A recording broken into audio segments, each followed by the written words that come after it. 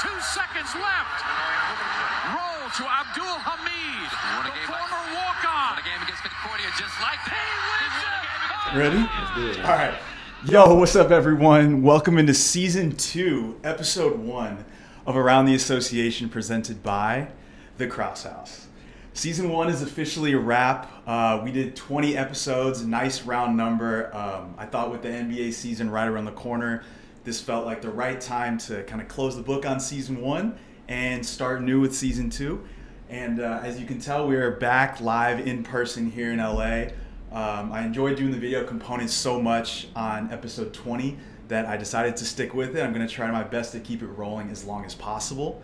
Um, and I'm stoked to be back with you guys for season two and got an incredible list of guests lined up. Uh, our first one here today is a bit special, a bit of a white whale, if you will. Uh, he's been eluding us for, for a while now, but we probably we finally got him on and in person. Um, in terms of an introduction, I'm not quite sure where to begin. Uh, I mean, I thought I got catfished by by. Can I call you Christian? We call you Bayesian Baller only. I mean. I go by either. All right, man. All right, cool. So I got. I thought I got catfished. So Christian and I have been friends uh, and collaborators, co-workers, and everything for like ten years, but we've never Just met about. each other in person. We went to the same high school. Uh, we both hooped, obviously. Uh, Yeah. I heard so much about you know Christian, a few years younger than me. It's like, man, this up and coming kid. He's he's doing all these things in entrepreneurship and all that. You got to meet him, and I wasn't sure if I was gonna look up and get jumped in an alley finally, man. But live and in person, dude, it's great to meet you. Been Yes, great sir. hanging out in LA for a bit. Yes, sir. What's it been like uh, to be back in LA? You enjoying it? It's been good, man. It's a it's a grind. So um, we were out here on business, so we had some meetings in San Diego. Drove up from San Diego. Yep, yep. Did some stuff at UCLA. Got to link up with the with the old basketball ops guys and, and the athletic directors and all that stuff. That was a good time. Uh, met some folks at Anderson School of Business. Drove to Malibu. My man Christian's got the hookup with a great restaurant in Malibu. Then went to Pasadena. Uh, chilled with some folks. It was crazy because you asked me how is it being back in LA. Yeah. There are two things that stood out. One is like these freeways are enormous and it's insane. But two, I Uh-huh. remember so I I got we can dive into some storytelling here. Yeah, absolutely. Let's do it. Recruited. I was a recruited walk on to UCLA. So I Mm-hmm. was more of a mid major type kid coming out of school. Mhm. You didn't tell me that, but that's who was recruiting me. And so um, we can talk to how my Davidson officer o- offer. Let's hear about that, last yeah. it's a little bit of a sore subject still, but so I'll tell you, I was um, playing in high school, a school called MICDS. Uh, Shout out Scott Small. Shout you- out St. Louis Country there, Day. There you go, man. So um, was playing there, smaller school, Yeah. and um, and started getting recruited by uh, Davidson College. Mhm. I got put on to Davidson because I went to five star. I went to five star. I went to I think it was like their guards camp or something like that at the time. And it's funny because I felt I was under recruited, wasn't getting a lot of action, all that. Went to five star. Nobody had any idea who who I was. I was trying to make a name, and I played extremely well. Worked hard. Garth, like he really connected the dots with a lot of people there to help get some eyes on me because I was playing well. Mhm. It's a guy named uh, Coach uh, Konchalski. Actually just passed away. You should look him up. Uh, it's Tom Konchalski. Um, brilliant guy in the basketball world. Best memory I've ever uh, of anyone I ever met in the Uh-huh. basketball world. Knew every player.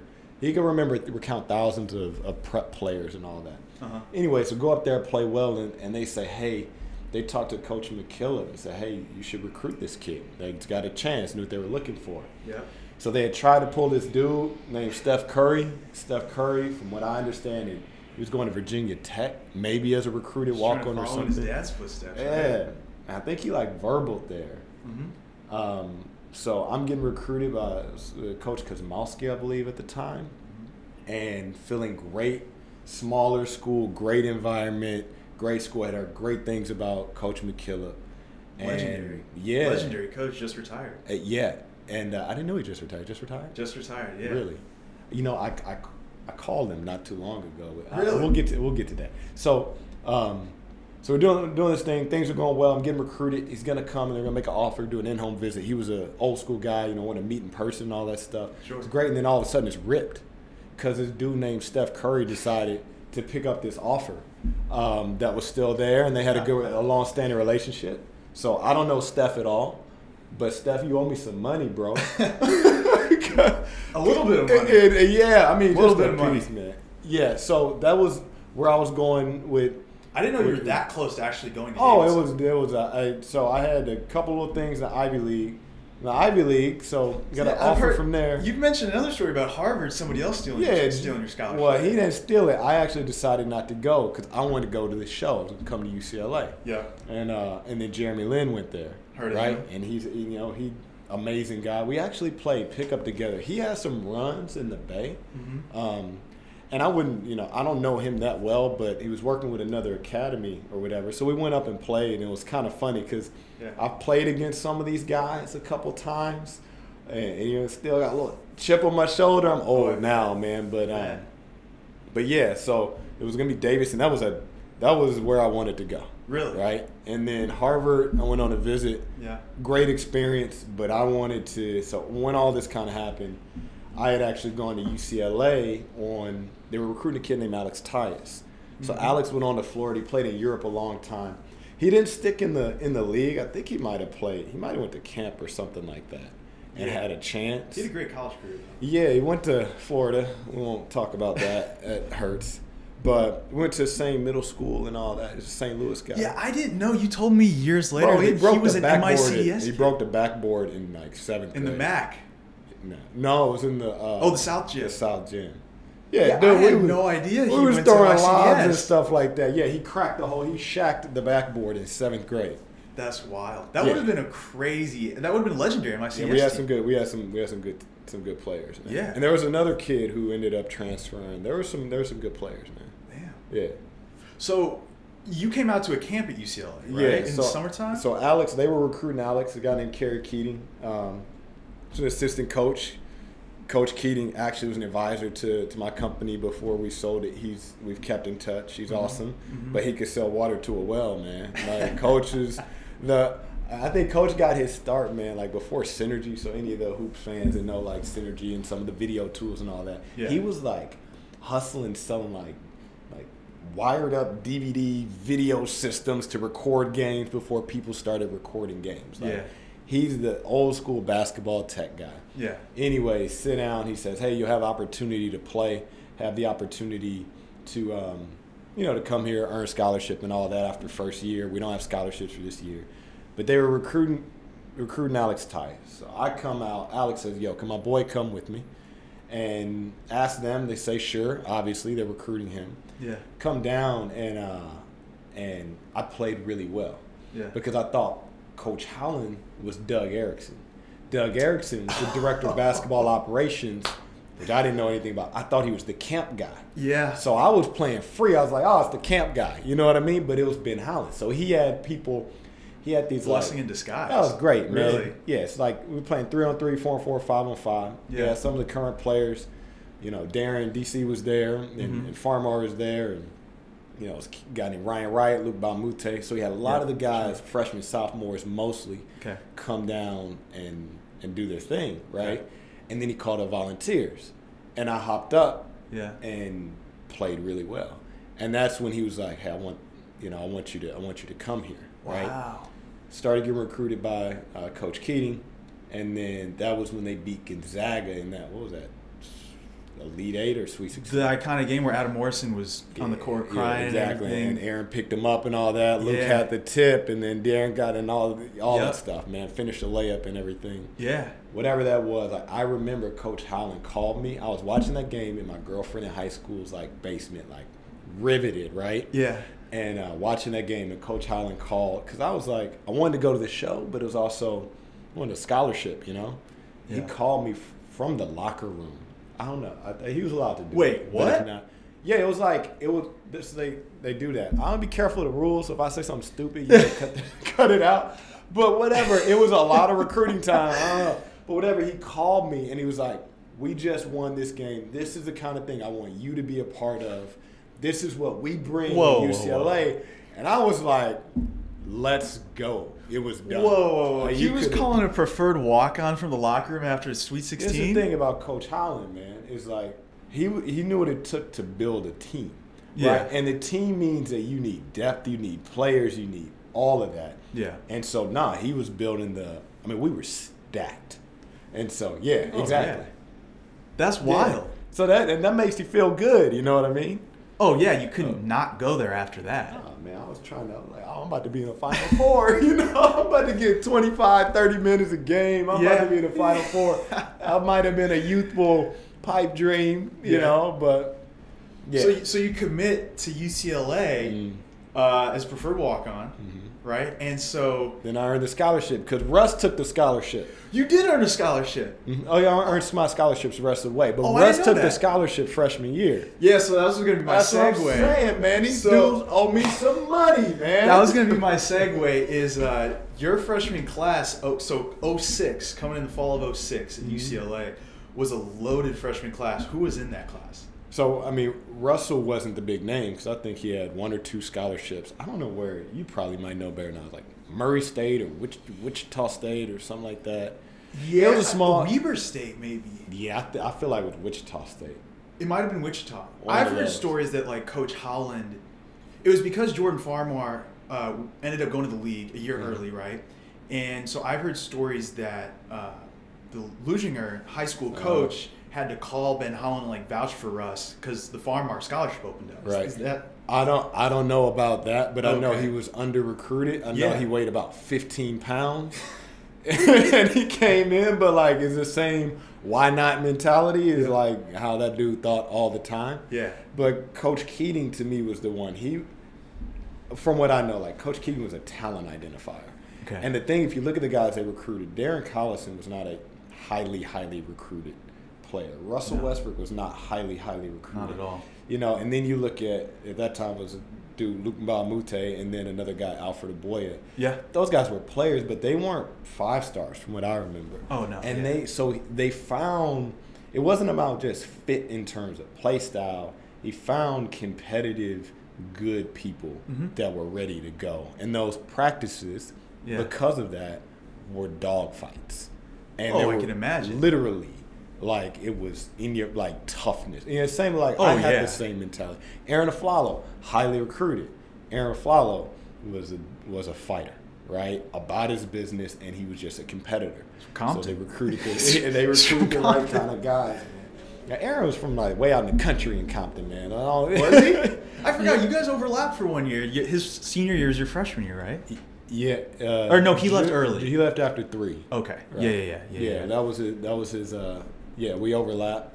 So I, I mean, I can name all the guys, but and all and some of the players who I feel like like Josh Shipp was a savage. He was one of my favorite players growing up. People don't Josh understand how good that dude was.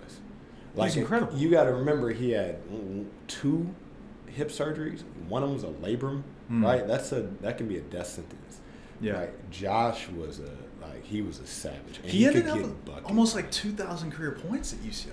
I don't know how many he ended up with, man, but he, He was was, a bucket. bucket. And I and I mean, he could get off the ground. He was aggressive. He could go. And Oh, if you yeah. look at his highlights, you should look at his highlights in Yeah. Turkey. His Okay. first year, I forget what team he played for. It's a smaller team, but look at those highlights, and you'd be like, "Oh my goodness, it was Yeah. crazy." Then he kept playing, and he played in Galatasaray and some big places, but.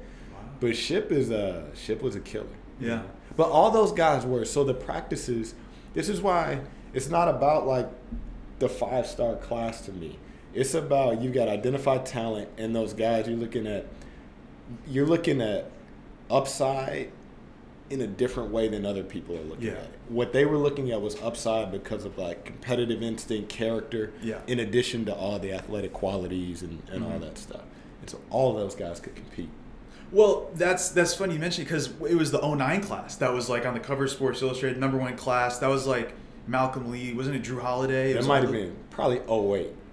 But 08. Ma- Malcolm, Jrue Holiday, Jerime Anderson, Bobo Morgan, and Yeah, Drew Gordon. but it was like that class was the one that was like so highly touted and so Yeah. heralded, and then it ended up honestly not being as good as Yeah. the, the previous couple classes, like your class that Yeah. wasn't as highly touted. Those guys were good though, man. And that's they what I'm were- saying. was- like they were quality guys. They were quality guys, and it didn't all fit together, right? For a million reasons. I also think the game was starting to change at that point. Mm. The way that you have, you know, even like the communication to players. It was kind of that like shift in the generations a little bit. Yeah. But like Jrue Holiday, the best player. I don't know who you said the other day when we went to dinner. It was like, oh, it's the best player I ever saw in college. You were talking about Lonzo. Alonzo. Jrue, yeah. yeah, you were talking about Lonzo Ball. Jrue Holiday was the best player at that age. Obviously, still a magnificent player that I Yeah. had ever seen. He was doing stuff that was unimaginable to me. Right, the poise that he had and the body control that he had Mhm. was absolutely incredible.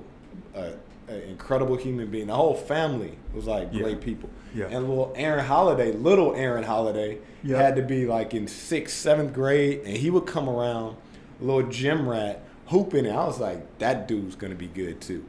And all three of them made the league. Yeah, all, all three of them could play, and all three of them were good people, whole family, right? oh yeah. Malcolm Lee had all, all the Lee. dancing and shaking and like the movement, like Mal's a player, Jeremy could play, and and and Drew Gordon, like it all didn't work out right. You had transfers and all that stuff. Yeah. But all those guys were, they could they could really play the game, and I I, I think part of it was that from a maturity standpoint, it didn't all get put together fast enough. Gotcha. You know, um, but yeah, like Jeremy had a I don't know eight or nine year career playing. Oh, yeah. professionally. Drew has had a great career playing professionally. Incredible career. And uh, yeah, so those are those are fun times. But the the best days were obviously kind of kind of early, and we had a really solid class, and that's probably where the strongest relationships were. oh yeah. So you come in your freshman year, freshman sophomore year, you go to Final Fours, back to back years. That was part of the the, the three straight Final Four They- years. You got the latter two of those. Yeah, they went to one before. Florida beat them, then they beat us, and Yep. then it was D Rose and them beat us. Yep. I think it was Atlanta and San Antonio. Yeah. Um, and obviously Kevin and Russ left after that. We had great runs. James Keefe, Western James Kentucky, Keefe. that's his game to remember. Man, That's he still, right. He still ta- he still still talks about he had a he had a, a, a tip dunk or something like that in that game. He still talks. think he had about it. 18 and 12 in that game Yeah, too. my go, memory serves me right. You know what, James? I don't think people, everybody. So all the all the listeners, your audience probably don't know all of these guys, right? Especially because you're a college basketball freak. I'm a UCLA UCLA guy. nut. Yeah. But- I but grew I- up with all those teams. It's funny, like everybody talks about, okay, you know, who's the greatest player, and we have all these debates, Yeah. right? To me, the amount of randomness and luck that it takes for those things to happen is incredible, Yeah. right? So a guy like James Keefe, that shoulder injury Mhm. really changed. I remember, I think it was sophomore going on the junior year, I believe, in the men's gym. Mhm. I'd never seen, because James likes basketball, Mhm. but James, James likes surfing. You know what I mean? but that summer, dude was flying up and down the court, dunking, playing, and it, it might have been that summer before Josh got hurt too. He was flying, and you saw these guys that were on the precipice, but then you have you have an injury, Mhm. and that's it, right? So you talk about the greatest. You talk about oh yeah, how many championships you get? Well, yeah, I mean, if Kevin Love doesn't hurt his what was it his shoulder, if Kyrie doesn't hurt his knee, Yeah. you know, if so and so, if Kawhi doesn't roll an ankle, you remember all these moments. Mm-hmm. It changes everything. So you want to sit and have this discussion about the amount of randomness. So in Yeah. Bayesian baller here, right? R, R squared, right? It's like the amount of very variation that can be explained, right? It's the Yeah. amount of the thing that can be explained by this model. And it can be bigger, it can be small. Yeah. And so there's a ton of randomness in here to have people sitting here talking about like all these debates and all that. Like, I don't know. Oh yeah. To have that much success as a team, you got to have things break just and the as, right way, And as an individual. and as an individual too. We're not talking about Penny Hardaway right now when you're talking about the greatest of all time debate, or Yeah. Grant Hill, Yep. or or lots of others. You know, Yeah. even Magic kind of falls out of that debate frequently, but Magic had years left. You Mhm. know, so I don't know. I, I have you know my thesis. We were talking. Said uh, met a dude named Horace today. Runs something called the District up in Chatsworth. Mm-hmm. Awesome community based basketball facility, but they also got a barber shop. They do content, Mhm. all this really really cool stuff. And Horace and I were talking. He played overseas, went the NAIA route, and then played overseas, played in the G League and all this. Mhm. Bottom 150, 200 in the NBA Yep. can completely be replaced by the top 500 guys uh, playing internationally. Yep. It's thin, right? Now, LeBron is is LeBron. Mhm. But there's a lot of guys that is a there, there are thin margins there, and, and how it happens, the connections or the randomness, the luck, the ankle not rolling, all Yeah. that stuff matters. Well, so I want to talk about so Russ in particular mm-hmm. because he talking about like making it to the league and how hard it is and how everything has to break the right way. Russ came in as totally unheralded, like we touched on. So, what was it that changed that summer between freshman year and sophomore year for Russ for him to make that leap and then go from averaging less than 10 minutes a game off the bench to the number 4 pick in the draft? Yeah, honestly, I think it was physical development because Russell could. It was even funny after he uh, after he left school. People were saying, you know, oh, he can't play point guard and all this kind of thing, and he can't pass. But Russell could always pass. Russell was always a playmaker. Now you could criticize him now and say, yeah, he's not the best passer in the NBA. Like, okay, fine, right? But he's Yeah. He is an NBA point guard, an NBA playmaker. The amount of pressure that he puts on defenses is still incredible, and he could he could always pass the ball. And so um, even things like, you know, and he hasn't shot the ball as well lately, right? Um, but his ability to pull up and stop on a dime, his they always talk about Harden and Doncic, right? Dece- deceleration. Yeah. Russell's acceleration and deceleration um, were always phenomenal, even as a freshman. And you know, coming in, we would go and play one on one all day long. Right? Really? Me, Russ, and James Keefe was our class. A dude named Nikola Dragovic, he wasn't there though, and he was like jet lagged and tired. So throw a lot of shade at that. But we would play all the time. Honestly, James would win all the games. I hate to say that. Because he's the biggest? Yeah, Because he he's uses big. size? Yeah, dude, he hit you like your his elbow was at your temple, right? Just as like how tall he was. Yeah. And nobody wanted to have a broken nose and pick up playing with in one on one late night one on one. We get Yeah. into sneak into the um, the men's gym or SAC or whatever SAC or whatever it's called Yeah. and play. But Russell always had that. I think physical development was a big part of it, Mhm. and um, that allowed him to do all the things that he was already capable of, Mhm. and his body grew into his mind almost, right? So Yeah. he saw the things and couldn't quite because they were ridiculous things that he does and tried to do. Gotcha. But he, yeah, but the physical sense. ability to do that, right, to, to catch up with this crazy mentality he had, um, happened, I think, over that year. Yeah. So I'm also curious, just as like a, a late 2000s, just like college hoops nerd, that was the like peak of the Pac-10. Late like 2007, 2008, 2009. You had James Harden at ASU. You had uh, DeMar DeRozan at USC. You had Klay Thompson at Washington State. You had Russ and Kevin Love thought at Klay UCLA. was gonna be like You that. had Isaiah Thomas at UW. It's Like- like that was loaded. Yeah, and I feel like a lot of those guys were still, they were still kind of under recruited in, in in terms of going to the league and and criticized a bit, right? So like, Yeah. people didn't think Klay was going to be there. Oh, a kid from Washington State. You Yeah. know what I mean? Like I understand. He left after two, right? Two or three. I think it's three. Okay, but I mean those guys have panned out. It's funny because all those dudes are LA guys, except, except Isaiah. Yeah. But like, yeah, well, But it's Isaiah's like, I so, SoCal guy. What was it like? Like, what was it like going up against?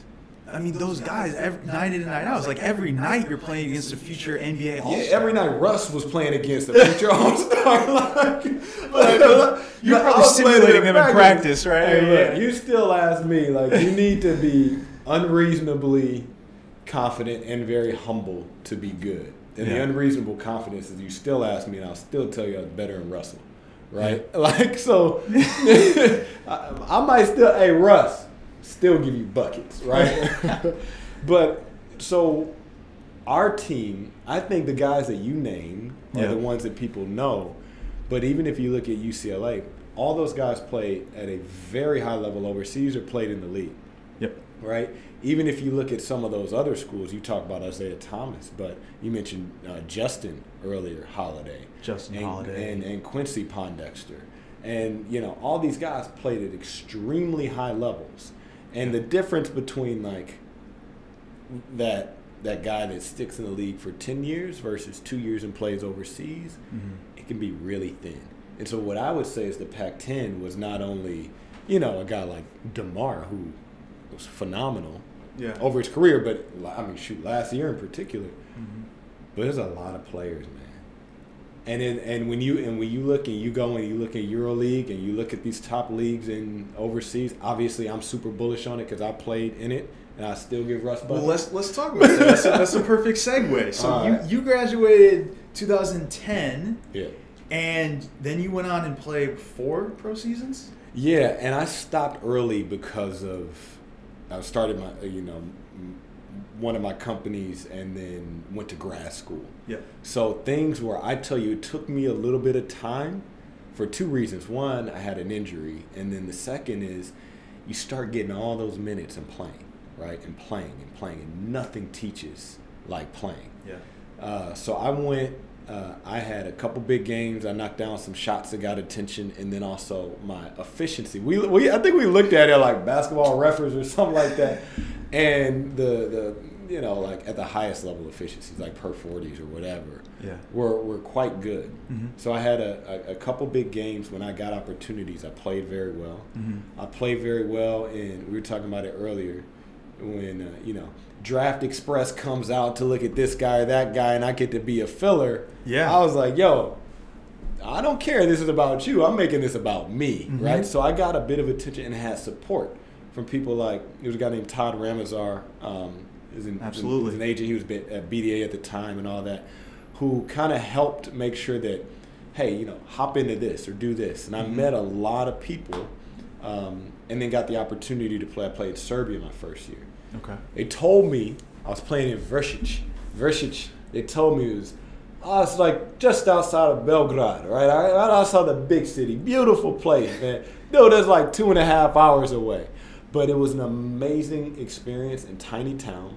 I had this coach named Jeko Lukajic and Dusan, I forget uh, Duke, they call him Dookie, Dookie's name. I don't even remember his last name, but they were, because the head coach uh, called him Struja, because that means electricity in and his hair would stand up like because he was he was dude you ain't never seen somebody get cussed out till you see Struja or like Obradovic or these guys go off on dudes right? But his hair would stick straight up they got Struja right? He's always electric right? But um those guys were some of the smartest basketball minds I had been around Mhm. and I got to play and play and play. So I'll tell you two things. One is um trying to think of where I because I, know we got limited time. I don't want to just talk forever, but I, there was a point guard there named Mijan Pavkovic, who was probably like five seven, had a little gut. Yeah. you know, Probably smoked cigarettes during halftime. non-athletic. Yo, that dude could play basketball yeah. and the way he played, what he saw, um, the passes that he made, it was such a learning experience for me Mhm. to be around Struja and and Dookie who would translate, and then I learned like pretty good amount of Serbian, and then around Pavke, right, this point guard, like that was an education of 20 years in like a nine month season. yeah. Um, You've told me about some of those those guys that you know I've even never heard of. yeah, I mean, you hear about the ones that come over like Teodosic Right. or guys like that or Mirotic, Right. but they're legends over there and they that, can play basketball. that never make it over here, but they're legendary basketball. So we will first of all we practice too much. two days.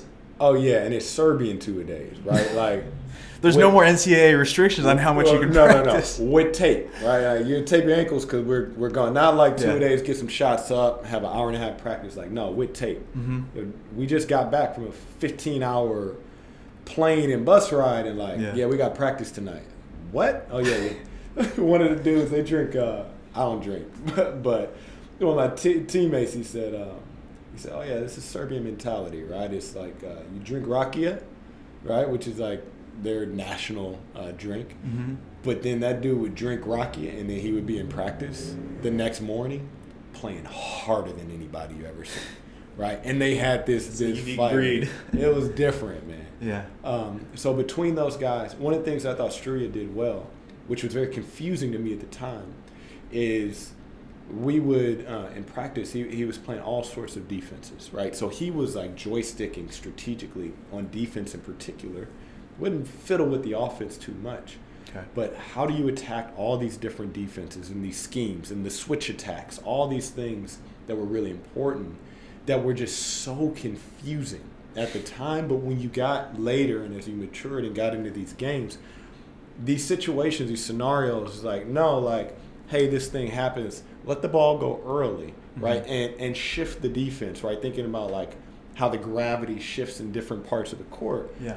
you started to get a feel for how the ball and how the team could create baskets mm-hmm. against lots of different scenarios, and he made you think constantly. And so that was a fast education. No more like Coach Allen was get in the lane, jump stop, shot fake, shot fake, bounce pass. All the typical fundamentals. Yo, I Yeah. did that over there in the studio. Ay, ay, ay, peach con madre, blah, blah, blah, blah, blah. Dilota, dilota. It's like, Pastor, give the ball. Like, what are you doing? Like, you attack and the guy's open. I don't care if you throw it around your neck, your back, whatever. Get rid of the basketball. You play against a hard hedge, drag that thing out like they do in college, and then uh, set another screen and waste some more time. Then they end up switch, and then you know go and play one on one. It was like that hedge goes, you make the first pass, bang, bang. You don't get the assist, you get the double assist, the hockey, hockey assist that we talk about, And yeah. now, like, yeah, you make the short, you get you hit the short roller. The big is the point forward here. It makes the play. Give Yeah. up the basketball. Yeah. And so we got put in so many of those scenarios where you see it happening more in the league now. Yeah. They've been doing that forever, you know.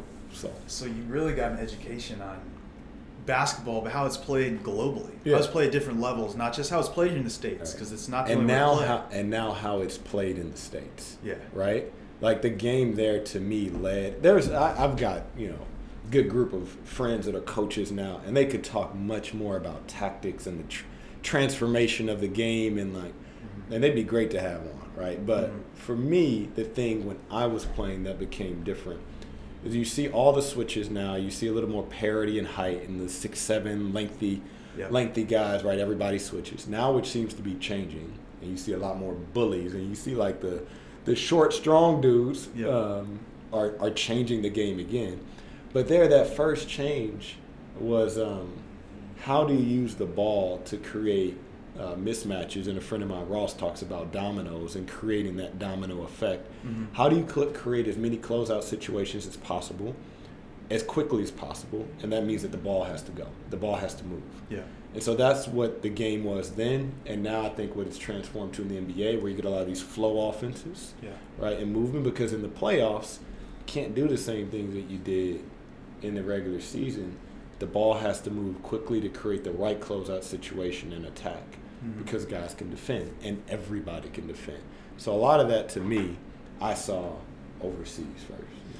And so you you started in year one in Slovenia. You said right? So year one, Serbia, Oh, Serbia. My bad. I, uh, dude, I had a, a, gnarly little little injury, um, and then uh, and then I played in France, then I played in Slovenia, and I played in Germany, Okay. brief stint in Lebanon, and back in Germany. So the like, Wow, okay. you could pick the you could pick the the story of choice, man. I could give Yeah. you lots of stories. You Well, know? so I'm curious. You hear about, and I've had a few players on the pod that have played overseas, Yeah. whether it be for like a short period of time before they're back in the league, or that's where they played the majority of their career, and it's really a a, a mixed bag in Yeah. terms of like some situations. Like we were at dinner last night, we were talking about like Brandon Jennings. He was Mm-hmm. the one that like really pioneered that like prep to overseas Right. Route, but it didn't go according to plan for him. He- and other he guys, went you know, Virtus Roma as a 18 year old man. Like, Yeah, it's tough. Hard. Yeah. And some guys they get that route like where they'll be on a team and there's like a limit, like you talked about how many Americans they can have in the Mm-hmm. team and like nobody speaks English. But other guys have had great experiences. They they make of it, you It's know, who- they take advantage of the It's who opportunity. you are. It's the player and personality matters, right? So Yeah. in Serbia, you could have two international players, um, and and so it was me and this dude named Jerome Jordan, who was kind of a draft and stash by the Knicks. Played at seven Tulsa, foot- right? Yeah, and I still tell Rome could have made twenty million dollars a year, man. He like he could move, he had hands, he had touch, he could shoot the ball. You know, he had the length, all of that. Um, but in that case, for me, I like learned to speak Serbian. I called all the plays, ran the offense all in Serbian. I would get around the city and I would speak Serbian. Now, it, I wasn't a poet, but I learned as much as I possibly could. I was absorbing that. I was uh, going to a baptism for an Orthodox church for a teammate, right? to just be around and like, you can go. It's the difference between traveling and, and being a tourist, right? Yeah, the yeah, yeah. ability to be somewhere for nine months uh, with these teammates Yeah. uh, who will bring you into their families and their homes. You can experience a culture so much more deeply than just about anything you can do. Because even if you move somewhere and live there for like nine months, 12 months, two years, three years, four years, Mm-hmm. you're still a foreigner and you it's hard to get entree into the circle of community. Yeah. And when you're an athlete, when you have built a, like a true brotherhood, right? You've gone through some battles with these guys. Um, you get real. You can get really into the culture, right? You can be. You can really live there. And but a lot of people aren't into that. It's a stepping stone for them. It's like, oh, I want to play back in the Exactly, NBA or whatever. For me, like I wanted to play in the league, but I didn't want. I wasn't doing the. I had an opportunity to do the G League thing. I had almost no interest. Oh, really? Yeah, because I wasn't. Dude, you gonna make it out the G League when the GM brought you like that stuff is set. Like they know what they're doing, right? They know there's a reason why they're there. They're they're playing guys certain ways. Also, there's so much transition and turnovers. Like, no, I wanted to go and play high level basketball and make a lot more money See the than even in the G League too. and the experience that, right? Yep. And I, I mean, in a lot of ways, it was extremely hard, but in a lot of ways, it was amazing. Mhm. And year over year, got, I would say, it got better. But there's nothing that replaces that. That look up like Partizan Belgrade um, fans or something like that, and you see all these guys in Pionir Arena, and they're you know, and when you're playing and the drums are beating, I get nostalgic. It's like the dun dun dun dun. It's like the rhythm of the game is going, Mhm. and the whole offense, the way that it flows and you play, is the same that the fans are bringing. It's not the performance in the NBA when it's like it's all about the cheerleaders and the dance team and the all that, which is cool. My family loves to go to and see that. Yeah. But the flow of the game was much more football, soccer like. It's more Right. organic. It was more, it was continuous. It was a flow, and so the way that you actually played the game fit the way that the fan watched the game and participated in the game. It's an And, artistry. It was, man, and I loved it. I, I really did, and uh, I think about one game in particular. So talking about Partizan, we played there, and um, and I'm sure it's funny now. I, I got two kids, so like I tell stories, and they're like all dad stories. You know, you tell the same stories again. So like, at least my kids are too young; they're not even gonna see this. Like, oh, dad. But um, I remember this game as a as a rookie. We were playing in against Partizan, Mhm. and I still remember. I think any players like this. Like, I remember a layup I missed. Right, drove baseline. I got a little bit behind the backboard, and I tried to like roll and scoop it through. Ball rolled out right. Like I remember where my foot went and how I missed that shot. You know, twelve years, however many years later. Mhm. Um, so I, I made some little things like that didn't go right. Couple missed shots, maybe a turnover here or there. So after the game, we lost to Partizan, um, which is the big club, the historic club there Mhm. uh, What city? In in Belgrade. Belgrade. There's two clubs in, in Belgrade that are big ones, right? There's a bunch of clubs. The big ones are Crvena Zvezda, which is Red Star, and Partizan. And you can imagine like Red Star and Partizan. Yeah. There's a lot of history. Hey, you should read. Uh, Franklin Foer had a book like how soccer explains the world, and they talk about Red Star and the relationship between some of these clubs, and even sort of political movements, militias, and all that stuff. Fascinating. So if you're sports fans, it's a good Yeah. one. And um, after the game, like I'm pissed. Or I'm coming out of college. Out of college, like you're supposed to be mad after every loss, right? Like, Yeah. and Yeah, you know, and uh, talking to the street, said, "What is wrong with you?" And so uh, Dookie, who translates, comes over. He's like, uh, "Coach says, what's going on, man?" Mhm. And um, I said, "Man, we were frustrated. We had opportunity to win that game and get points, and I had this opportunity." He's like, "Man, did you see the SWAT team around the stadium?" and I was like, "Yeah." He was like, "Do you want to go home?" or do you want to beat them on their home court and, and get worried about going home? You know, He just want to get out of their live. yeah, and you have a good re- you have a good result, and then now you beat them on your home court, right? And Mhm. you know, I did the same thing. We beat Besiktas in uh, in Turkey. It was huge, and like we went out to I don't know some little gathering afterwards, and um, somebody, yeah, yeah, a little. I, you know, I was Gathering. man, I was in bed by like ten o'clock generally, man. We Mhm. went to a club afterwards, and somebody asked like, "Oh, who'd you play?" Oh, Besiktas, right? Big club there. Did you win? It's like, yeah, man. I had I had a good game. Like. I was like, yeah, man. We did. We did it. We we, we got him, man. Big time win with you know Euro Cup. My team, I was like, yo, shut up. it's like we don't belong here, dude. Shut mm-hmm. up and just like you know we're going home because the because the game that these clubs, these teams are built into the fabric of culture and is like it's the real deal over there, man. Yeah. yeah it's fun. So you did that for four or five seasons, Mm. and then what? What made you finally decide? Ah, maybe it's time to retire. Maybe it's time to go another route. Well, I was in. I and how a- tough of a decision was that? I had a brief way? stint in Lebanon, which was you're a bit more of a mercenary over there. You got to go and get buckets, and I was more of a like every team I played on. Like we won a championship in Slovenia, two Final Fours in in Germany, and like in Serbia we were really good, right? Um, Lebanon, you got to go and get a you got to go get a bucket, Mm. right? Which was a little bit different from how I had always played. So I went over there. Um, I could get into all the agent stories and all that stuff, but long story short, I went over to Lebanon, in, uh, just outside of Beirut. Lebanon's a fascinating country if you think about the number of different cultures and religions that have all been incorporated into government in order to create this balance of power in a very tricky place to have a balance of power. There's a lot of Christians and you know um, Christians and, and Muslims and different sects of uh, you know Sunni and Shia and all this stuff, right? Uh, all kind of overlaps. So it's a very interesting place. So every club in Lebanon basically had a political team, political affiliation to Mm. some degree. Some were very tight, some were very loose. Mhm. And so I went over to Lebanon uh, after a year in Germany and uh, played over there. And I wake up one morning eating my Kellogg's or, or, or cornflake knockoff, right? I was like, yo, uh, you know, Hoops BC replaces uh, blah blah blah, brings in new uh, brings in new American. I was like, what? Like, You heard you got replaced Ain't on- nobody say nothing to me, and I was like, yo, I'm playing well. All right, like. So I read it as a, as a guard. I'm like, ah, hold up, man, hold up.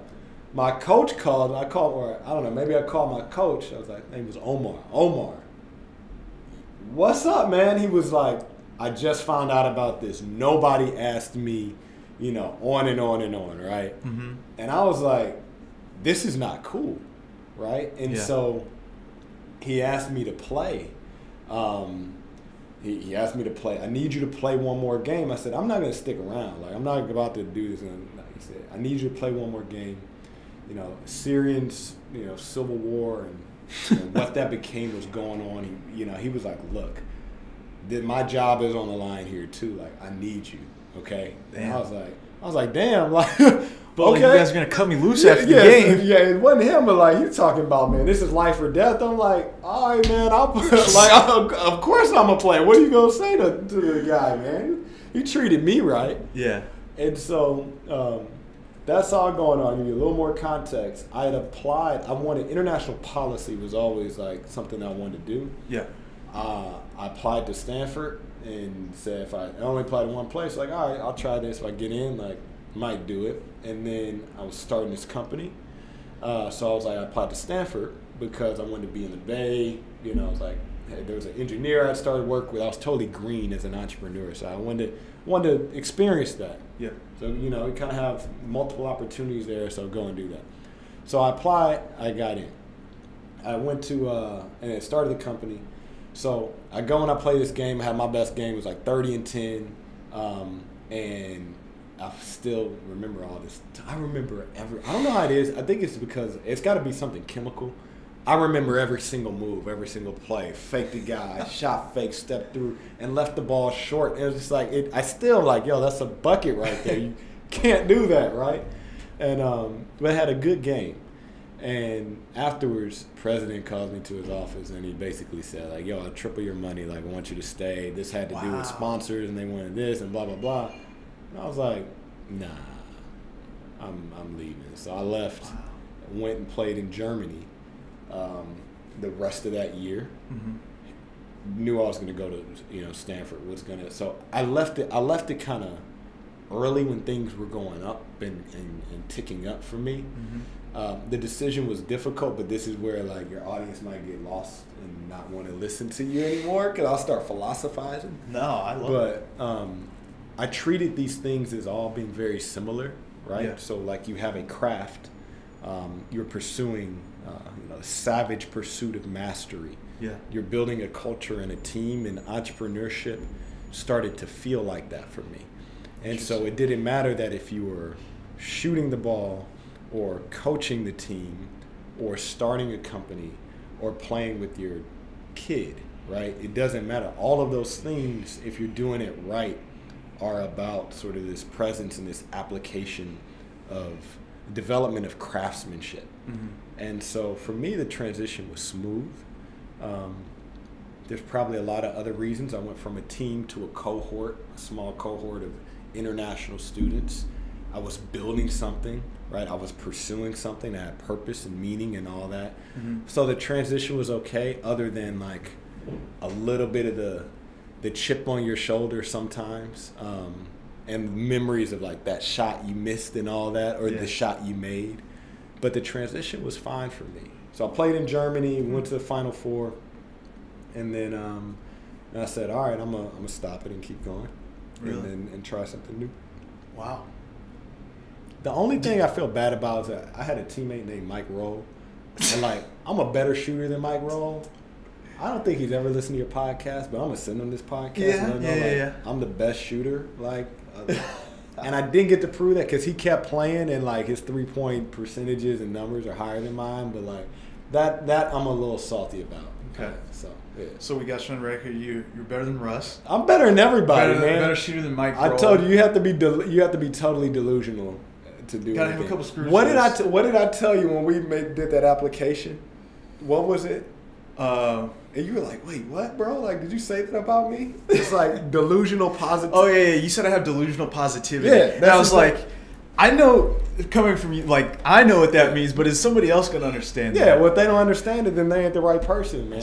Because you have to be able to think that this thing is possible or achievable, right? Yeah. You can't be if you if you think or do like everyone else. Like, how can you do something different, right? Yeah. Your mind has to function differently, and either and you have to create that thing, Mhm. right? You have to Russell Westbrook or I'm not comparing him to him, but you look at some of these greats like a Kobe or Jordan. They, they man, they made up enemies.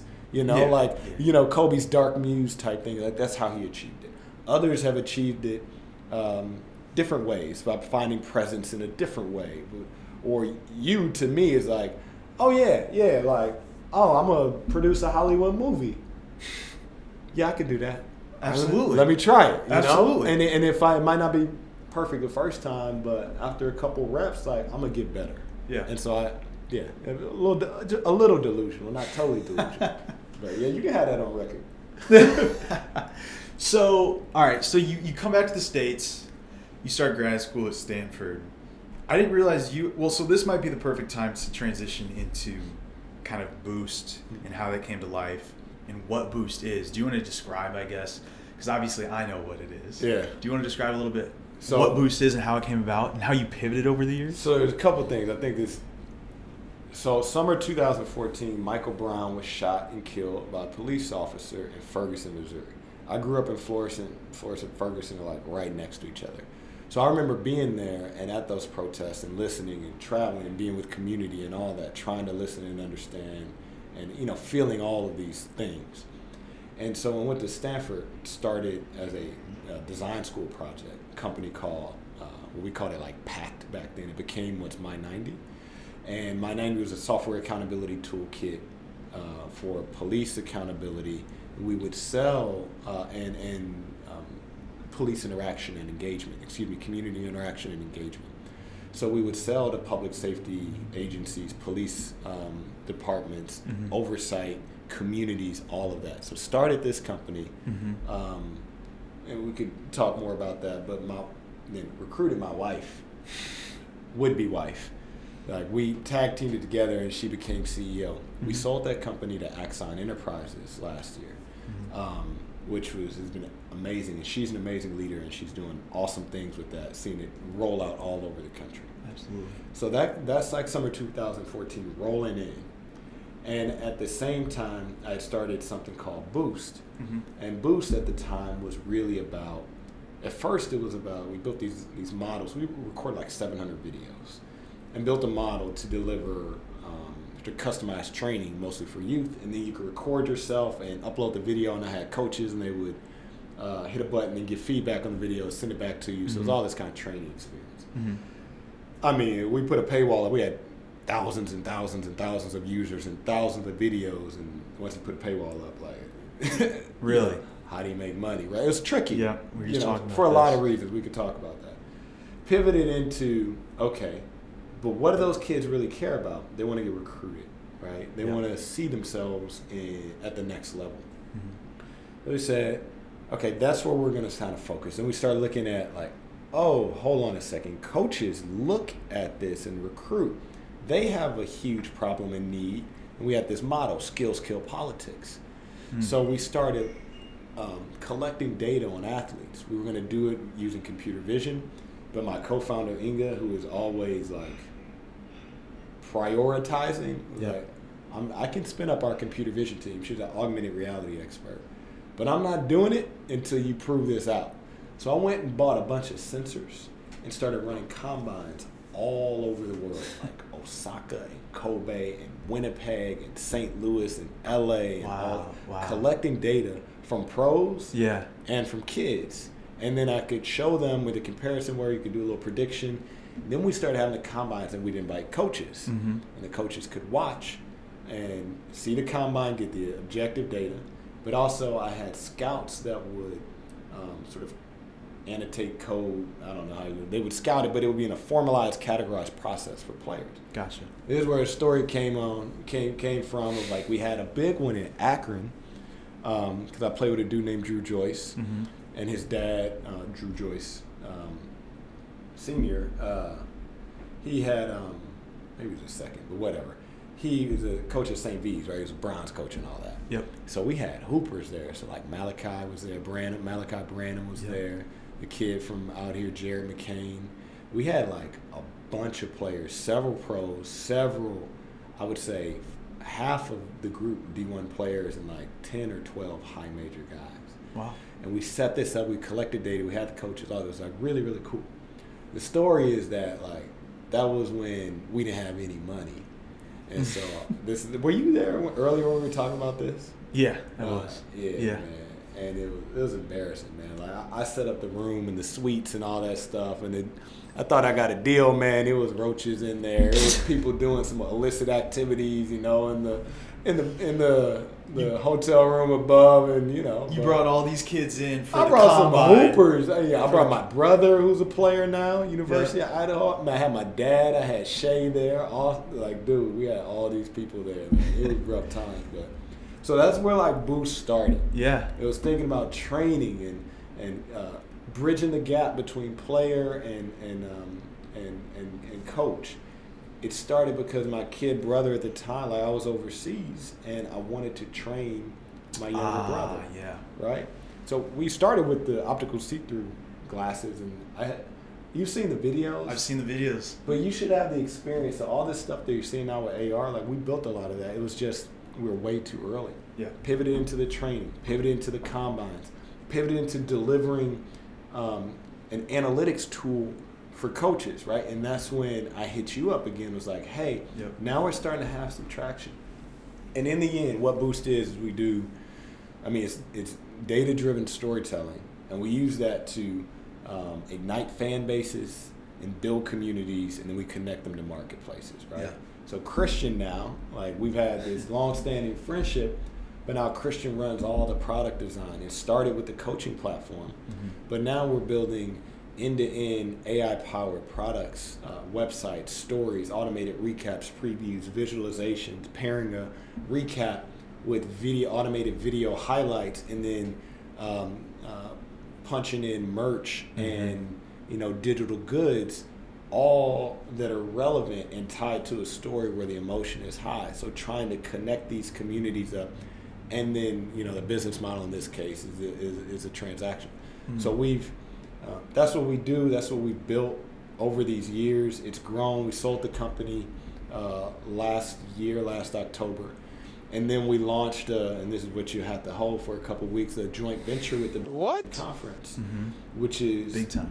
Absolutely amazing because now like you the only thing that matters if I was to give my sort of advice that I got from a guy named Aryan Forohar who sold his company to Sport Radar, big data provider and, and um, data analytics and betting provider sports books and media companies Absolutely.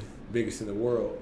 So he told me, he was like, dude, nobody cares about your technology. And I was like, I'm going through it right now. I was like, man, Ari, man, leave me alone. It's like, no, it's about distribution and it's about rights. And so to do that, when you play with these sports properties, you want to get rights, Mm-hmm. you got to pay a lot of money Yep. right? Sure if you do. want distribution, that's why these sports books or stuff have massive customer acquisition costs, right? It's like why they're buying up all these, you know, smaller media companies, why they're doing all this stuff is distribution and rights. And we were able to bring a technology layer to that Yeah. to exploit the distribution and the rights, build something together, and now, you know, the first iteration is the Big Ten, but now we've got multiple big deals that are done and that we'll share soon, uh, where we're powering storytelling and fan engagement in a whole new way across the world, across many, many, many sports. Mm-hmm. And it was, I mean, it's it's funny now to see where the company is, having known because I knew that story, and I know how long of a journey it was going from, you know, the app for training kids to this company, like an, an actual company now doing partnerships and, and deals with you know some of the biggest brands and identities in sports. And so I just like seeing that whole end to end process, I can't help but think like we've talked about this before, like the 99.9% of entrepreneurs and startups that don't make it. And so as as an entrepreneur myself, it's like, do you ever just take a step back and think like, damn, like I did that. I Yeah, made what- that. Do you let but- yourself do that what or not? What I, what I tell you about this discussion about the greatest of all time. Yeah, you can't you can never be satisfied. It's not only you can never be satisfied, but you just didn't roll your ankle, right? That's Look true. at a guy like Grant Hill. That's true. Those foot injuries, you know what I mean? Like you, or or a guy like Steph Curry, who had all those ankle injuries and was fortunate enough to be able to come back, right? Yeah. You, the ball bounced here. I swear, we talk about Russell. I swear the ball always bounced in his hands. and I think part of it is like, like when I did something, the ball bounced away, and somehow it was a turnover, and somehow somebody picked it up, so his turnover ratios weren't weren't that bad. I'd be like, yo, man, like how come he didn't turn the ball over? But I think it's about the ability to put your place in the right place, the right time, bring the right people, and survive because you get there is a lot of randomness involved. And to underestimate that is to overinflate what you think you did.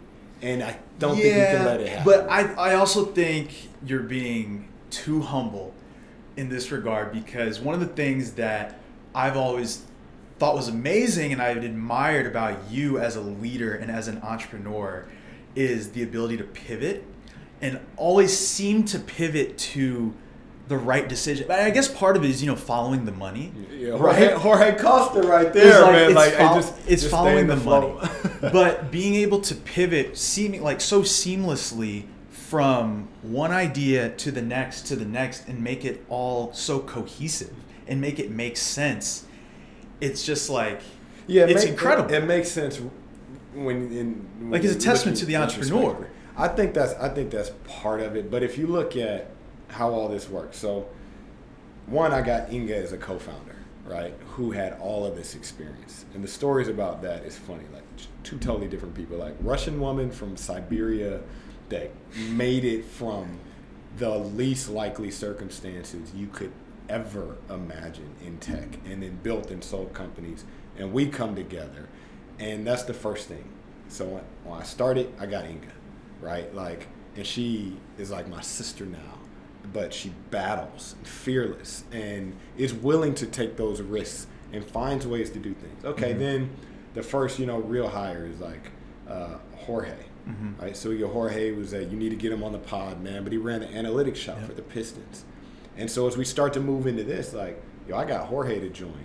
It is not totally rational why someone would join and do some of these things. Yeah. And then even some of the folks that Inga recruited um, internationally on the engineering side, we had a dude named Dennis, amazing person, and able to like he had the mindset. So the idea is that yeah, you can have a good coach, more like a good GM. Dude, the players the players play. And so my approach to building teams is one, you got to establish a culture about honesty and all that stuff, transparency Yep. but I recruited really talented people that were entrepreneurial. So that was one thing I liked about you. Like I didn't care, you know, like oh, okay, you know, like I'm, I wanted like a code evaluation for for Christian wasn't the thing at that time. Like I didn't care about. I wanted an entrepreneur. Okay, started something before, mm-hmm. started multiple things before, mm-hmm. and was had the ability to learn and pivot, and I could like if you have an entrepreneur, you run the risk that people are gonna like push back sometimes. But that's how like the innovation happens. So when you do have to make a decision or pivot, you have the the, the team with you to run fast. So now if you look at That's where we're look at where we're at now, like and I'll you know, I don't want to forget any names, but I even think about we're now on this this product we're building, you got like Nick, Mm-hmm. Burke, dude, if I was straight up Christian, if it was just me and you without Nick, or it, it wouldn't it wouldn't happen. Yeah. Right. But also, what's Nick's background? Had his own company, was building tools for coaches on his on the same thing. Yep. Like different mindset, can be leader, autonomous.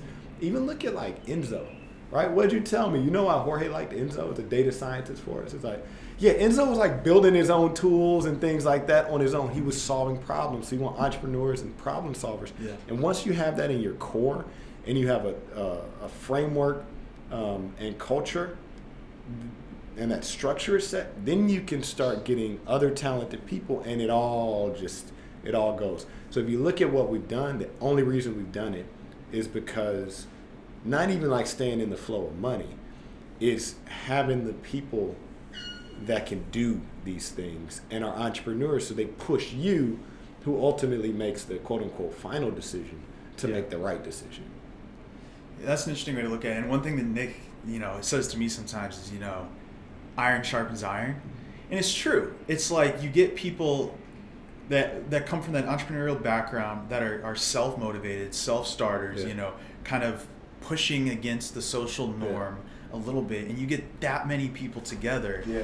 It's almost like Keep going, man. Something- I'm, gonna give you the full quote because people forget the full quote. Keep going, man. Yeah, but it's just like it's really true. You get people like that that are self-confident creators, builders, confident in what they're doing, and really the sky's the limit. Right. And when you really break it down like that, it is kind of the common thread throughout our team, our company. Right.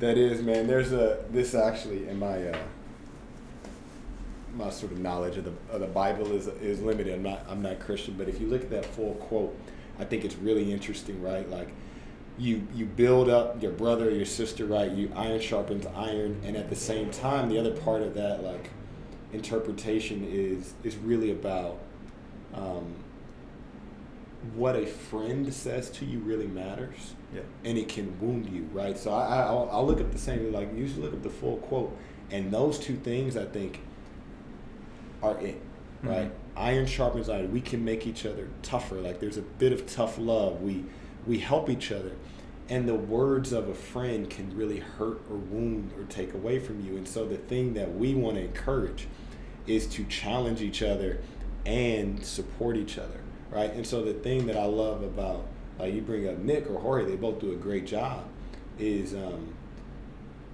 is they empower people, right? It's not like like this whole idea of like a manager is so stupid, right? It's not a manager, it's someone who's like as the person on the hierarchy in the org chart, you're up here. No, like what you're really doing is lifting that other person up and getting the F out their way, right? Because the words and the things that you do can be so limiting Mm-hmm. if you don't get out the way, right? And so the balance of those two things is what makes like a really, really good, really Yeah. good leader. Yeah, yeah, yeah. No, that that's true too, and that's also another thing that I mean, not to you know go off on, on a whole tangent about like our company and what we do so well, but it's your story is like there's no there's no barriers. There's no like none of that like the, the divisiveness that you may have in like a traditional company. It's not like somebody is above somebody else. I mean, yes, at the end of the day, like people have different titles and different positions, but one of the things that's so cool about what you've built with Boost is everybody has a say. It's like everybody almost feels like they're on equal footing in terms of like they can have their voice heard. It's why Krause House is like has a is even a thing, Yeah. right? It's because people have ownership. Yeah, when people have ownership, they, they feel, invested, right? And, Exactly. and ownership is not just about like, in this case, the token you own or like the shares you own, but it's also like how you're treated, hmm right? And and as a founder, as an owner, you think differently. Yeah. You cannot expect everyone to be like a, you know, the founder or do whatever. It's like, oh, don't pay me. Oh, I'll work all night. Oh, Yeah. I'll take every risk. Like, not that type of it, but it's I care about these thing and these people. So we were talking. Uh, Nick was telling me he was talking to you. And he was like, "Oh yeah, on Christian on Fridays, it's always great to make sure you really close out that day and to set up everybody for success." Yep, we talk about on. Monday, right? I was talking to to Marty about this when we had lunch the other day, and I think that's great. And why? Because when you got European engineers, they get there on Monday. You created like they didn't lose nine hours because on Friday you closed it out, got them set up with your tickets and everything like that. Well, why does that matter? Because if you do this three months in a row, you've created four fresh days, right? Three months in a row, that's 12 days. Yeah. And so when you get to launch, you bought two weeks. So when you get to launch, something is inevitably going to go wrong.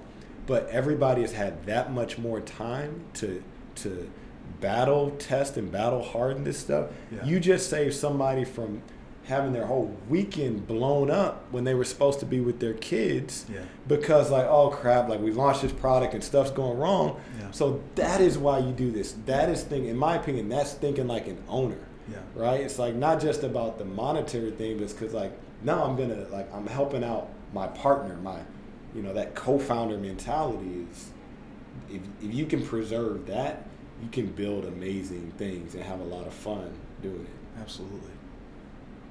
What's the biggest misconception about being an entrepreneur or being a founder, CEO? Yeah, you got to be totally. It's totally irrational. It's the it, it like there's not that makes sense. Like if you were to do it like financially, and uh, like you were to count the dollars, because you said the ninety nine point nine percent, right? And then there's the 0.1 percent that make a billion dollars when they you know go public or whatever, right? Um, there's a lot of hours. A lot of things can go wrong. It's tough most people don't get it, you know. Uh, it's hard, Mhm. right? But I would not do anything else Hmm. because, you know, quote unquote, man in the arena to like participate and build and do things. Like, yeah, it's hard to. It's hard to, you know, the old commercials like priceless type things like that. That is priceless. I wouldn't change it. The other thing is you can control your environment and what you do. Like, I'm fine. I can stand on my own integrity. I can, um, even if I fail, I can stand on the decisions that I and my team made. I can choose my team, right? There's nothing. My my wife, uh, who is amazing, like I said, she led my '90s. She started her own not-for-profit. Like she is an amazing leader, and but sometimes she gives me a hard time. Come down to LA, she's like, "Yo, like, what you doing in LA?" I'm like, uh, yeah, you got work. We got some meetings, and I haven't been. She does her thing too. I like, we got two young ones, you know. So, you know, what who you meeting with? I was like, well, I meet up with Christian. She's like, like yeah, then I meet up with Austin, and then me and Inga, and then I'm going to Arians, and you know, to meet up with this- Horace, and going to you. She's like, work. You getting any work done? Like is that work? Like, like you going on vacation in SoCal is what We're- you're doing. We're, we're networking. No, but that the thing is like, why would you want to spend time with people that you don't like or care about? Yeah, absolutely. You know, so it's like, yeah, this is this is a craft. I don't even look at it as work. So as an entrepreneur, as a CEO, I think it's stressful, it's terrible, it's irrational, but you're crafting this thing and you're choosing the people that you craft it with. They're making you better and you enjoy it. So now I get to see m- my friends and this community that Yeah. I care about. Yeah. Like that is the that's the like did you know storytelling and like it's cool stuff the deals we made and you know maybe there's revenue involved and all that kind of stuff like that's cool Mhm. but over these last years i have friends community people for life and i don't care what you say like that the thing that was hardest about leaving basketball is my favorite part about basketball was practice and team dinner you know Really? yeah and i love this the show like i love the big games and the big moments and all that but Yeah. it was that feeling in practice when coach lets you run, you're playing, you know, getting up and down fives or whatever. You're playing scenario. Okay, first to seven, three minutes on the clock. Do it. You're just hooping with your boys. Yeah. And then in the locker room, you ice up. You sitting around, you talking trash, and then you go to dinner, and it was it's just great. Mhm. And so to me, that's the thing that was important to have that community, that team, Mhm. right? And you know, people talk about you know family and this and that, and like, no, to me, like being teammates is a, is a, is enough, and we make each other better. We and I've enjoyed all of this, even the hard times Yeah. you know somebody was i had i created a group of advisors and teammates that i could talk to so if you're starting something i think the solo founder thing is for the birds man Hmm. because you're missing the whole you're missing the whole experience the whole thing Yeah, it's all about relationships at the end of the day. And that is by far the most rewarding part. You know, even for me, for being a part of this company that you've built is like like how many people can say like like they hang out with like their coworkers or their boss like their boss essentially like this like and record a pod or shoot the mm-hmm. shit or like go have dinner in Malibu or just like hang out. Mm-hmm. It's like it's very rare mm-hmm. that you get that kind of relationship but when you do it's like that's for life. Yeah man. Absolutely. And you you do thing after thing after thing again because what else would you really want to do Yeah, you know exactly. like i mean it's it's hard to go with jay-z you know half filet mignon you can't go back to hamburger helper man. You can't go back to just making widgets you know what i mean? No. Like, it's not it's not it. Yeah. It's not it. No. Man what else what else do you want to talk about I we talked about a lot I don't know, but- man. I, I feel like your audience went to sleep when, like, yo, this dude started talking about some No, man. philosophy or whatever, man. This, Uh, I mean, this you're hearing from someone who's who's lived it and who's done it, and so you know who's been successful at it. So if there's listeners who are you know uh, in that entrepreneurial mindset, who I know there are from Krause House or whoever that is listening, you know, this conversation is going to be applicable to what they're trying to do. Yeah, hopefully, man. I think the so to those entrepreneurs, like we said, build your team. You can't be afraid to can't be afraid to pivot. You know, to get stuff out there very quickly and learn Yeah. and listen. Right. So Yeah. the thing that I would say, and I think about this actually to Krause House, right? Because you all are on the bleeding edge of things. Is that, um, like, think about what you you you think about what you want to build, right? So before that is you have to understand like, why am I building something? Like, Yep. what do people want? hmm And then there's the meta question of like, what do they want to want? And once you understand that, you can think about, okay, this is what to build. hmm And before you build it, you need to evaluate the externalities, Mhm. right? It's like, okay, what could I change in the world if I put this thing into the world?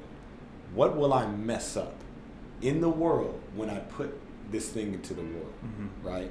And making sure that you're building things and doing things and thinking about that. Otherwise, like, cause like, yo, the disruption thing is is great, and then the grown-ups come and like clean it all up and like you broke some things but i don't like that silicon valley mentality i think it's i think it's dumb i think it is up to you or us and i think across us because it's so technology involved and it's bleeding edge is like okay what do we what could we do wrong here Mhm. right are we making the world a better place are we changing all the like really really philosophical stuff. questions out there and then once you evaluate that and say, okay, take a deep breath, like this here's our, our risk, like let's go and do it. Yeah. But if you don't think about that, like I, you don't get the pass to me of like, oh yeah, we didn't even we didn't even we didn't even think about that. You know, like the like uh, there's a, a different technology. You know, um, I was reading about these scientists build stuff like deep fakes, right? And so like you can, you know, someone's voice and facial expression and Yeah. they're like, oh, this is awesome. You know, the great use of AI and computer vision. It's like, yeah, but did y'all? So the question I heard him on a like a Radiolab a long time ago. Asked the question, did you think about or even consider? Oh no, I did it. That this could be used in this way, right? And that to me is the thing I think about in technology and entrepreneurship. You don't get a pass in my book. Mm. You know, you might mess something up, but if you didn't take the time and have the process to evaluate that thing, yeah, we've we've been there and done that. So Yeah. that would be my only thing to all the people building all sorts of crazy stuff in Krause House, right? And All all, the people stuff, like man. me were building new crazy things. you know, we got to hold ourselves accountable. Do you think you're going to be a serial entrepreneur your entire life? Man, I, always got a little something going on, man. I always got a little something going on. The net, the next thing I will tell you right now, yeah, you're gonna be like, what? You know, like I can't believe it. So, you know, Me personally? Oh yeah, you personally, you're gonna be like, what is this dude doing? Something I don't know about? Oh, man, hey man. Ask me no questions, tell you no lies, man. Okay, It's got a little, okay, little something okay. going on. I think so. The next thing is no, I don't know if I'll be a serial entrepreneur, entrepreneur all of my life. But the things that I think about now that I care about two things. One is community, I care about climate. And so some of the things I've started building, investing in, thinking about are where those two things overlap Mhm. um, and creating as much value as fast as possible, where you're building community, returning resources and value back to community, Yeah. and at the same time uh, attacking some of these big sort of issues around environment and, and, and climate uh, as much as you, you know, impacting them as much as you can. So. This, and so going back to the whole like, almost like, are you gonna like leave the world a better place than like you found it kind of thing? Like with sport, like playing devil's advocate for somebody who like would be like, well, how, how would you achieve? How do you achieve that? How do you make the world a better place through sport? But it all comes back to the community aspect, right? That's it. Because in the end, you're just throwing a ball through a, a ring.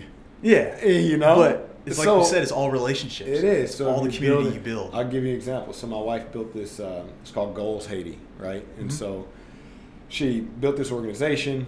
Um, she hired all these people, uh, uh, these Haitians, right? So it wasn't like she parachuted in and then left and brought a bunch of you know U.S. Americans in, and you know, she built it from the ground up in Haiti. Learned the language, lived there for three years. Wow. And what did they do? They created soccer teams. But if you play on a soccer team, right, you get a meal, right? So they've served thousands and thousands and thousands of meals, right? Wow. Play on a soccer team, well, ah, you got to plant trees and do community cleanup. If you want to play, if there is a uh, boys soccer team, there has to be a girls soccer team. Uh-huh. The numbers have to match. So in a place where like, oh, girls can't, you know, girls aren't gonna play, you'll get the boys recruiting girls because they want a new team to be started. And yo, we need girls so they can start a, a girls team too. That's right? awesome. That's that's soccer, sport, Yeah. that's community, right? So the same thing here. If you're looking at Krause House, like, all right, in the end, we're talking about throwing a ball through the rim.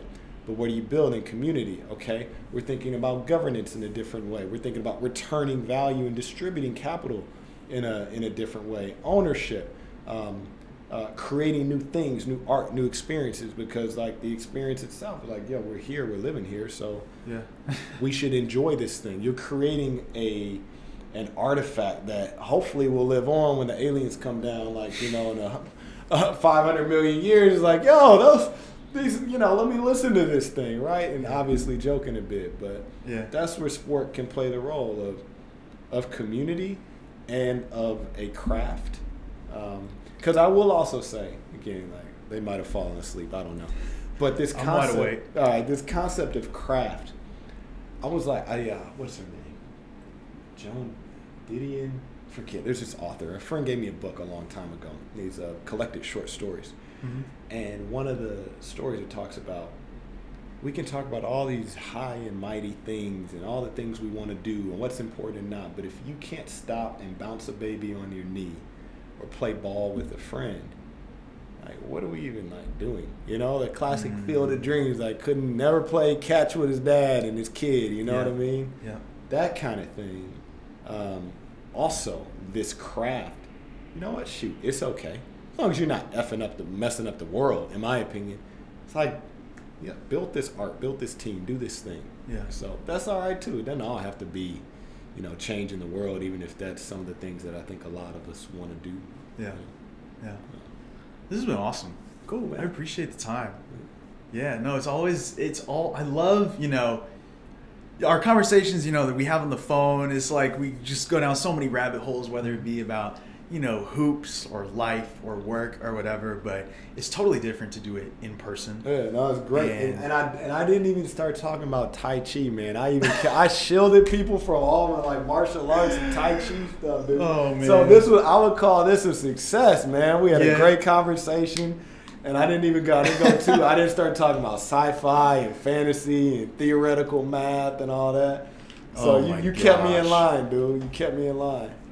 Well, so I guess I got because at the end of the day, this is a, a basketball podcast. Before I let you go, I'd be remiss if I asked, you know, you have any hot takes or anything you want to get off your chest? Anything you want to talk about? Head because I mean the the NBA season is a couple weeks Yeah. around the corner. By the t- it'll be right here by the time this pod It drops. is. It is.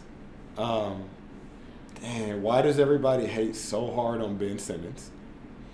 That's a He's question. kind of brought a lot of that Um, upon himself. Yeah, I know, but I feel like he got he got he reacted to something. I'm just questioning He's brought a lot of it because he he has brought a lot of it, especially in the in the end recently on himself. But as a player, why does everyone? Why did they? Why did they go at him so hard? He's still a fringe, almost all star. Like he's a very good player. Oh, You're yeah. gonna answer so that Yeah, that's for your pod to think about. um, Jrue Holiday is a beast, and I still Facts. think he's totally underrated. Facts. Um, I think the Clippers are going to be good this year. I know that everybody's 100% been agree. saying that. Shout out to my guy, a friend of mine, Chad, and I've been watching Jason Preston. I think he's going to be very good. I, think, I hope he gets some minutes. He's a great passer. Watch this kid. Yeah. And um, what else, man? I think the Clips are going to the West Conference Finals. Who's going to win the championship? Who? Um, right now, I'm. I'd say Bucks. I'll say Bucks. I'll say Bucks. That's, I'm uh, going. I'm because going of Jrue. Yeah. I'm going with Milwaukee. I love Giannis too. That dude is entertaining as all get I out think he's gonna be. awesome. I think he's gonna be MVP again this year. I think he's gonna gonna go for his third one. I Yeah. think he's fresh off of just dominating the what they had the Yeah. Euro Cup or something Yeah. this summer. Just dominating. Commodore's gonna love this. Yeah. Commodore, one of the co-creators of Is- Krause yeah, House, is he a, flexes is is counterpart. Milwaukee? Is he a Milwaukee fan? Oh yeah, Okay. Bucks, everything, Oh. Milwaukee, Wisconsin through and through. So okay. Commodore, Okay. this this. Hey, Commodore, how's this for Wisconsin football this year? oh man. Um, yeah, I'll say Bucks. I mean, I'll say Bucks dubs, but I, I could very plausibly see Bucks Clippers. Yeah. Okay. Bucks Clippers. So you even uh in the East, in the Eastern Conference, he threw uh you threw Boston out. They're gonna. No, come I'll say I'll say? Bucks over Celts in the Eastern Conference Are they gonna pick it up without the without the? I think so. turnover. The I young guy, so. I forget his name. I've heard I've heard good things about. him. Mazzulla is the Yeah. new guy who's re- replacing Yeah, I remember him. Yeah, West we Virginia can, we can get into the Celtics stuff on another episode. Yo, is Draymond getting suspended for how long? he should. I had this had the video I didn't of see the video. Was not come out. It was bad. Had the video not come out, they could have just brushed it under the rug. But I think they're probably pissed that it came out because now they're gonna have to do something. Yeah. Which they rightfully should. He, you can't swing on a teammate like that in practice. I don't. I don't think. I don't know. I don't know what he did yet. I uh, yeah. We'll, we'll watch the video after this, but uh, I don't know what he did. You know I don't think down. it'll kill their morale. That team has been so good for so long. I don't think it's gonna affect it? it. Nah. But yeah, I'll Did go Bucks. He made contact. I didn't see. Oh yeah. Yeah. Oh yeah. It looked like he knocked him out clean. I will say Draymond is different, dude. He. Great podcaster, by the way. When you gonna get Dre on the pod, man? When you go with- I've seen him working out over UCLA in the men's gym a couple times during the off season. yeah, Yeah. high impact guy, man. Yeah, he is. I mean, we've had debates on this on past episodes about you know, on court is he more valuable than Steph to the Warriors and what they're trying to do in their system. Dude, Steph Curry's work rate is absolutely insane, and there's nothing that can replace that. The Like his work pressure- ethic? work ethic, but his work rate, like the amount of movement, the amount of ground he Oh, covers, okay. the way he can, like Russell does with the basketball. Yeah. right? and people criticize him for it, right? Russell Yeah. does with the basketball. He draws so much. Yeah. But Steph does that without the basketball Oh, and yeah. with the basketball. And I remember, I don't remember what conference finals or finals it was. I get all these years mixed up now, but they lost. It might have been when Klay was out, and um, I watched him. Like they weren't gonna win, right? And I watched the amount of ground he covered and how hard he played. I was like, that dude, he he needs more respect than even he gets. Mm. So I think, but at the same time, I remember when they lost that first finals. Kind of rumor was Draymond kind of lost it in the locker room, um, and went at people. But you need you need a Draymond Green man. So that that's like To an I- I- extent. I, wasn't there. You I mean, the reason why I think they lost the finals is because he lost. He got he got suspended. yeah. I mean, so he's a blessing and a curse. What was the? I'm trying to think of the years, man. What was the first one that they lost? They won 2015, lost 2016. That was when they blew the 3-1 lead. Right. They won 2017-18, lost 19 to the Raps. Right. 2021 they were out, came back 22, and they won against the Celtics. Right. Yeah. Yeah. Do you think Draymond gets a fair shake for the refs? Uh, yeah, Okay. yeah, I do. Yeah, yeah. yeah. Um, I don't know. I get so tired of all these dudes whining, man. oh yeah. You know. It looks it looks bad. I think it's a bad reflection on the league sometimes. All right. To the last, extent. Last one, then we'll shut this down. I have Yeah, a question no, for I love the hoop song. Variable three point line. What do you think? Var- about what do you mean by variable three point line? I don't know. I read about it. I don't know if it was like Goldsberry was talking about it a long time ago, and then I it might have been a friend of mine whose idea it was, but they were talking about like I think Goldsberry and that what was that book he had? Sprawl I ball. Yeah, Yeah. Remember he was talking about like variable three point lines, so the Warriors could put a three point line different on their home court Oh. than if you would go to and play in Phoenix versus New York. That's interesting. Um, you'd have to set it what for the season? Like you can't change it game to game based on who your opponent I is. you probably, I think you probably have to set it for the season. Um. Well, yeah, that's interesting. There I mean, needs to be some new strategy in this game, in my opinion. there does. Um, because coaches don't like it it because all the deals are made in the summertime and over instagram dms between the guy i want to see some tactics some strategy something different it's too Yeah, and some the the game has kind of um, it's people could say it's evolved because of analytics and things like that. And obviously, somebody who's you know full head of steam into analytics, um, in that side of the game, I think it's almost it's it's harmed the product on the court in a mm. sense because these games kind of just evolve into whoever makes the most threes wins now. but And they all, not- but they all do the same thing because that's the, stra- thing. the strategy They- is set Exactly, because every team, like when the Warriors were doing it seven years ago in 2015, and they were on the cutting edge of like shooting all these threes and even Moreyball and stuff like that too. Right. It's like they were on the cutting edge. They were doing this while all the other teams were still stuck on like mid range, Right. getting to the basket, like stuff like that. Um, and so it was different. But now all these teams have quote unquote evolved to the same point where now they're it's all threes are at the rim Right. it's all Moreyball. And so, yeah, I'm interested to see what the next evolution is going to be. Right. Whether it's going to be like mandated by like a rule change by the league, or whether it's going to be become because some other style of play comes about. yeah i want to see something different i want to, i want to throw a little wrench in it man i want to throw a little wrench Yeah. in it and get and change the strategy so that was it man you got some you got some fodder for, for future podcasts man I mean, I think the next, the, the low hanging fruit kind of thing is the way players are kind of evolving. The next thing is the players under six six are going to become extinct. I think Yeah. it's just going to be like six six, six seven, six know. eight, You and need above. to talk. You need to talk to Shay. You need to talk to Shay Frazee, man, because you're seeing some of these short, strong dudes be able to control the game in different ways. like a. Jrue or like a Marcus Smart. Jrue, yeah, Jrue, Marcus Smart, even Grant Williams, obviously taller, but for his position. Yeah. Even like look at Kyle Lowry. You know, he's still now he's you know Yeah, he's on the tail end now. right? But that's a big effect. And look at some of these smaller guards. So I think it is actually. This is where we got to stop because I got. I don't have. This is I great. don't have This strong is great. enough opinions or or knowledge, but I, I kind of hear that some of the friends I talk to, right? And I think the game is going through another transformation, right? Away from the six six to six nine lengthy guy because they're being moved in different places around on the court by like this kind of physicality by some of these Mm. guys. So, anyways, we got I'm gonna hook you up with some people to talk to. we got some strategy. Yo, it's time to get some All right. tacos, man. We're in LA, man. I got to. All right, let's do it. All right, well, Mustafa, it's been a pleasure, my guy. Thank you. Uh oh. See, We're- we're we're actually working. We're doing podcasts. We're finishing up the pod right now. We were just talk. We were just talking about this.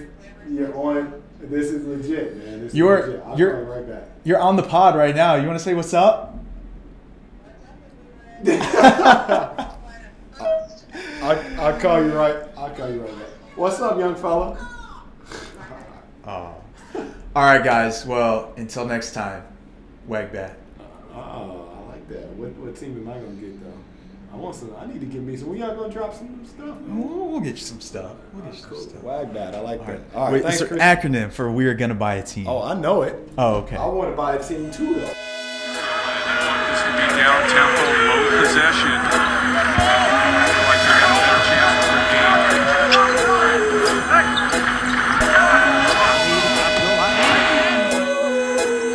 Epic, huh? Epic.